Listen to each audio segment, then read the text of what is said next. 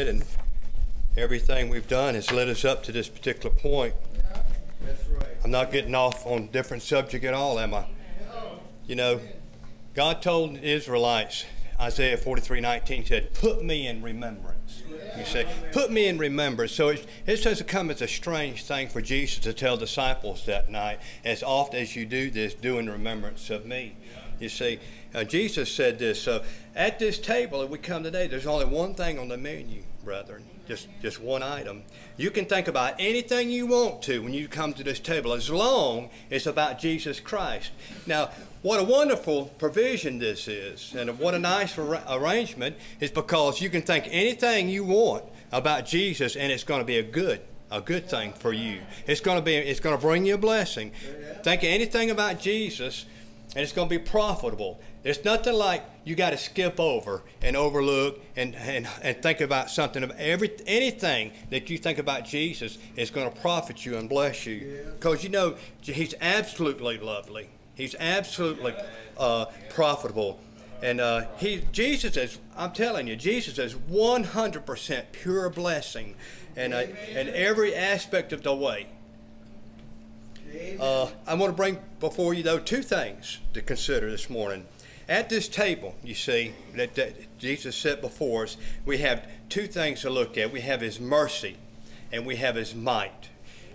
God has put before us at this table Christ Jesus, who is both merciful and mighty.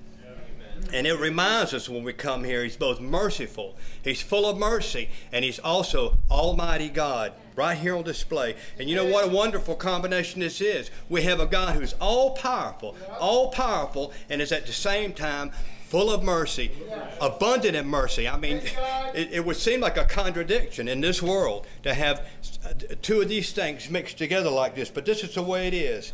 You can, you can have God who is so powerful, and then he is absolutely as equal in mercy. In chapter 33, Moses, he, he pleaded with God. He began to plead with God to show himself.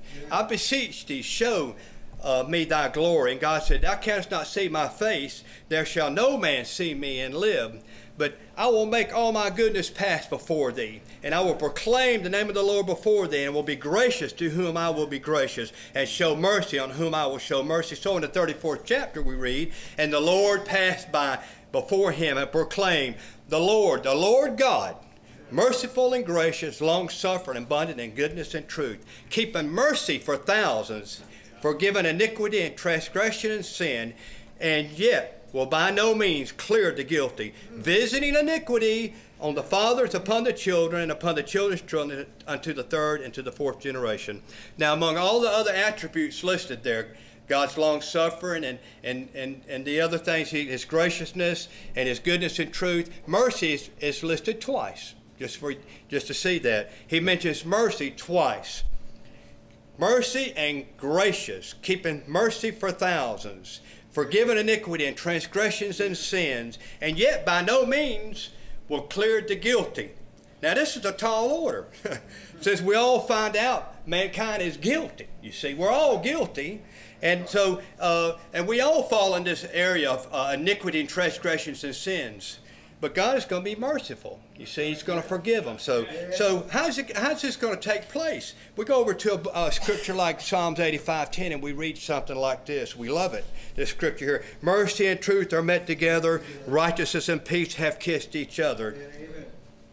The things that has kept us from God was not His mercy, but it was His truth. That we were transgressors from God. That's what kept us from God you see. The truth is that we're rightly judged as guilty, guilty of death, matter of fact. And that's the truth of the matter. God can't ignore the truth, you see. He is full of mercy, but that's not all he's full of. He's full he's equally full of righteousness and truth. So his righteousness, you see, demanded that he be by no means cleared the guilty. I can't do this. It, it really doesn't make any sense, even to us, to overlook a, a, a guilty party, overlook something that's right. Uh, uh, we can't make allowance for things that's not right. It's got to be fixed. You see, we understand that. And every reasonable person can see this a problem's got to be fixed before we can move on from here. And so this is why our particular problem, you see, yeah. our particular problem is, is one that we couldn't fix. That's right.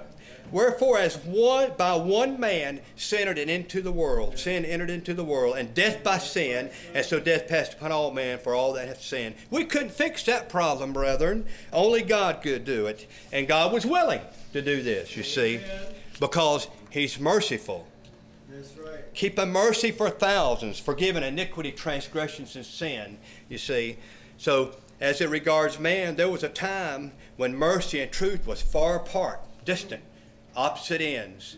Righteousness and peace was just as distant on opposite ends. The disobedience of man caused this, this large gap between the two. But now they've come together, okay? And they've kissed each other in the name of Jesus Christ unto beautiful language. If you, if you have an overwhelming desire for mercy and truth, righteousness and peace with God, it's because of Jesus. Yeah. Now, the law came by Moses, good enough. But see, grace and truth Yeah. came by Christ Jesus, even better. And mercy. Now we've made, we've obtained mercy through Christ Jesus, and God brings us mercy in His most powerful way. Now I want to see, I want you to see the mighty hand of God.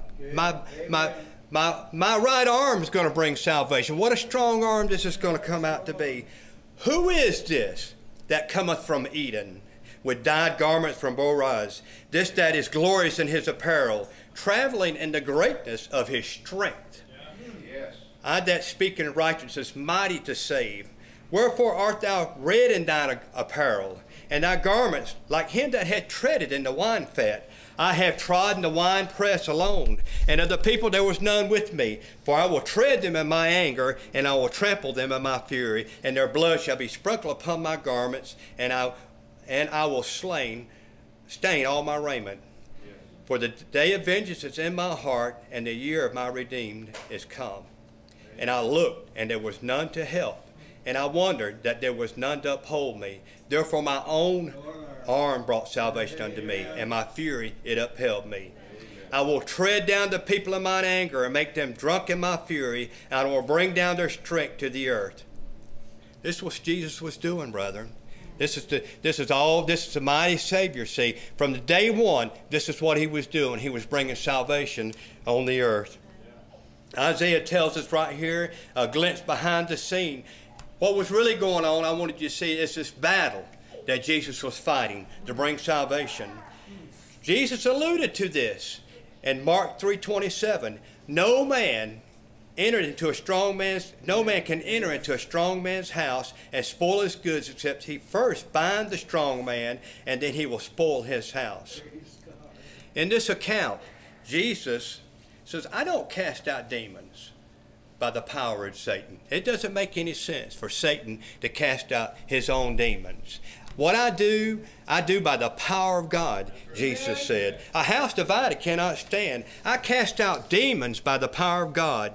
So in Luke 11, he says, But if I with the finger of God cast out devils, no doubt the kingdom of God is come upon you. When a strong man armeth, keepeth his palace, his goods are in peace. But when a stronger than he shall come upon him and overcome him, he taketh from him all his armor wherein he trusted and divided his spoil. So Jesus, I'm telling you, he's the stronger than he in that verse. Amen. We know that Jesus had, what Jesus had absolute authority was on the earth. He did. He had he cast out demons. He had command over the earth when the seas obeyed. The animal kingdom listened to God, and and all of these things. But when Jesus went into the strong man's house, you see, he completely devastates and brings uh, Satan out. Jesus goes in into the actual domain of Satan, and he conquers him and defeats him and takes away his power. Now, this domain of the house of Satan or this domain is actually the place of death, where Jesus enters in. He goes into a place where no man has ever been able to leave from. Jesus goes in there and he leaves again. He goes in and he comes out. So he takes captivity captive, you see. He just utterly destroys Satan. Who is this King of glory? The Lord strong and mighty, the Lord mighty in battle. The saints we reply, He's our Lord, the King of glory. So this, this morning, I, I bring before you a, a table that's full of mercy and a table that's full of might and power. Amen.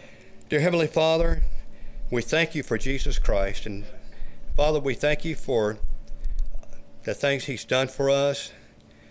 He's redeemed us, He saved us, He keeps us. Father, we pray that you would enable us to focus on Him more clearly at this time. Help us to consider Him and honor Him in our hearts. In Christ's name we pray. Amen. Amen.